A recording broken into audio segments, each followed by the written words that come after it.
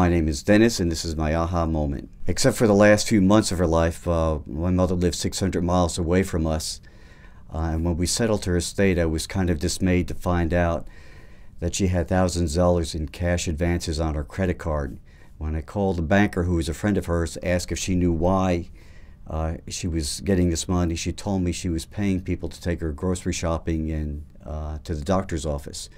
Where she lived, the grocery store was three blocks away, and the doctor's offices were within two or three miles of where she lived. Certainly, the credit card companies knew what was going on. That upset me, but the fact that the services weren't available so that she could do this without having to pay somebody was pretty upsetting as well. About four years ago, I found out that the Shepherd Center of Winston-Salem was looking for volunteers uh, to drive people to doctor's offices and grocery shopping. It literally was an aha moment for me to say, this is what I'm going to do because I knew what a difference it made in people's lives. I have been involved with it ever since. Uh, it's a small thing that we do, um, but it makes a big difference in the lives of the people uh, that we serve. Nobody should have to go through what my mother went through.